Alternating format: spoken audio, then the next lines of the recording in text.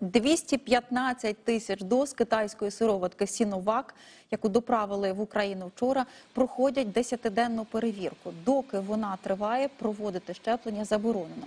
За словами представників МОЗу, кожну дозу цієї сироватки зберігають окремо, на відміну від препарату Ковішилд, який є 10-дозним. Першочергово вакцину Сіновак будуть використовувати для літніх людей.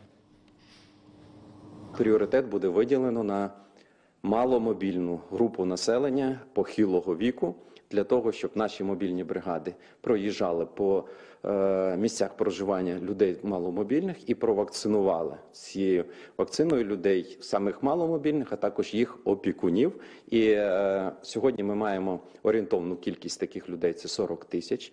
Е, в подальшому вони передбачається вакцина також введення подвійне.